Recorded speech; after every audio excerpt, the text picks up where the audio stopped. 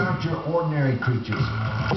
But perhaps the most unique and unusual mascot in all of college sports is the UC Santa Cruz Banana Slugs.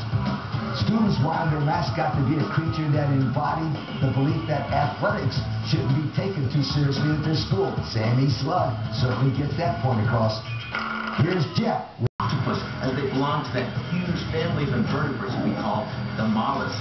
Amazing animals, so I guess you could see why Santa Cruz would use these animals as a mascot. But I wonder if these slugs can surf. I'm hanging